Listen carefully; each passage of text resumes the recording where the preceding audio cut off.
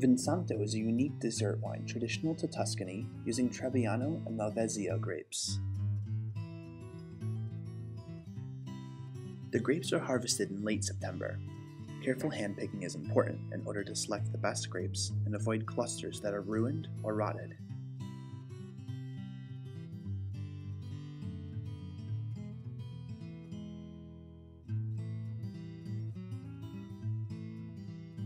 Next, the grape clusters are carefully laid out on racks.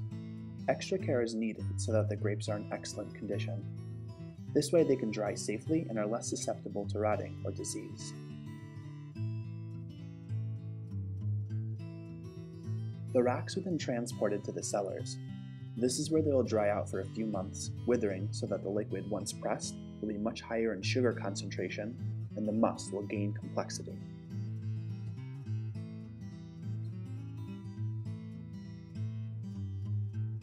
The racks are carefully loaded up and lifted under the roof to allow the grapes to dry out well until they're ready for pressing. Every week they're rotated so that all the clusters can wither evenly.